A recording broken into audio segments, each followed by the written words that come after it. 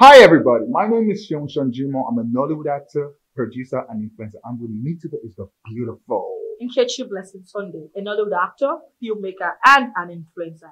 And, and together, together, we're hosting the sixth edition of the African Entertainment Awards USA, AEA USA 2020!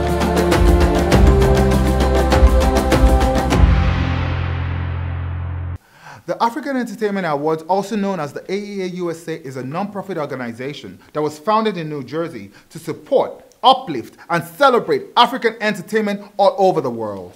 We need to come together as Africans globally. For Africans to succeed, we must work together in unison to create a better future for our children tomorrow.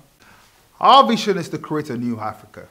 One Africa we intend to use entertainment as a platform to showcase an Africa that is self-sufficient, willing, and able to evoke social change that matters most in the communities of Africans and Africans in the diaspora worldwide. For every mission comes a vision. Introducing Nyla Tamin, one of the executive producers of AEA Awards USA, to share the mission.